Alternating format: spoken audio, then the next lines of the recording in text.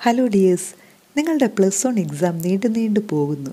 ഇങ്ങനെയായാൽ plus two exam എപ്പോഴായിരിക്കും? Any idea ശ്രദ്ധിക്കൂ. നിങ്ങളുടെ പ്ലസ് വൺ എക്സാമിന്റെ കേസ് പതിനഞ്ചാം തീയതിയിലേക്ക് സുപ്രീം കോർട്ട് നീട്ടി.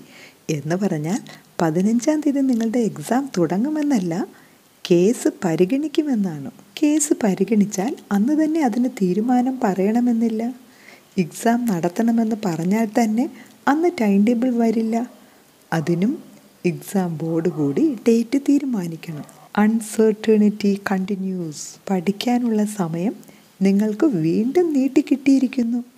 മിടുക്കരായ കുട്ടികൾ ഈ അവസരം ഉപയോഗിച്ച് പഠിച്ചു മുന്നേറുന്നു. നിങ്ങൾക്കും ആ കൂട്ടത്തിൽ ഉൾപ്പെടാം.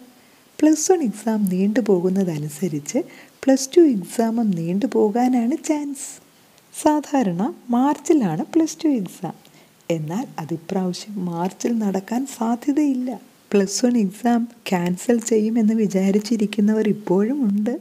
കിട്ടിയ സമയം പാഴാക്കാതെ മാക്സിമം ട്രൈ ചെയ്യൂ. ടെലഗ്രാം ഗ്രൂപ്പിൽ പറയുന്ന കാര്യങ്ങൾ ശ്രദ്ധിച്ച് പഠിക്കുകയാണെങ്കിൽ നിങ്ങൾക്ക് മാക്സിമം മാർക്ക് സ്കോർ ചെയ്യാം. തൽക്കാലം പ്ലസ് വൺ ക്ലാസ്സുകൾ കോൺസെൻട്രേറ്റ് ചെയ്യുക. പ്ലസ് വൺ എക്സാം കഴിഞ്ഞതിന് ശേഷം നല്ലവണ്ണം നമുക്ക് പ്ലസ് ടു പഠിക്കാം. പ്ലസ് ടു പോർഷൻസ് പഠിക്കാനുള്ള ടൈം തന്നിട്ട് തന്നെ ആയിരിക്കും പ്ലസ് ടു എക്സാം നടത്തുന്നത്. കഴിഞ്ഞ വർഷത്തെ ഫോക്കസ് ഏരിയ ആയിരിക്കില്ല ഇപ്രാവശ്യം പ്ലസ് ടുവിന്. അത് മാറി വരും.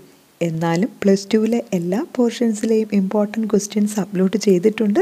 നിങ്ങൾക്ക് വേണ്ടത് സെർച്ച് ചെയ്ത് പഠിക്കുക. Sunita's favourite world